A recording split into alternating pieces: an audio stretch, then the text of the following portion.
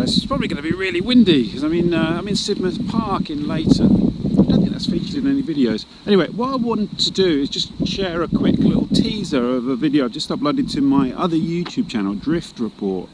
And I wanted to share it with you because it's a really inspiring uh, scheme that they've got going up there in Haringey and this is just a little teaser actually. And then if you could go over I'll put a link below. If you could go over and watch the whole video over on Drift Report that would be great and please share it because it'd be great for more people to hear about these sort of very positive responses to the housing crisis in London and, and generally what's going on in London.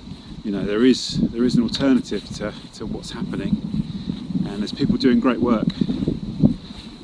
So uh, here's a quick teaser you know, the, the key thing about this project for me is that it means local empowerment.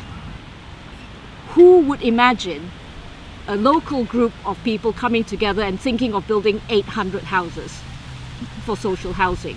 People would think this is rubbish, but it is going to happen. You know, this shows that money isn't the only answer and that actually communities can take, as, as you said, they you know can empower themselves you know, it's only 800 homes. It's not going to change the world, but it's a start.